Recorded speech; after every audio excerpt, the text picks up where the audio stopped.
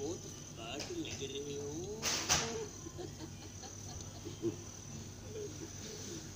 Thank you लेकिन आपका पापा का फेवरेट गाड़ी के साथ ज़्यादा स्मार्ट लगते क्या?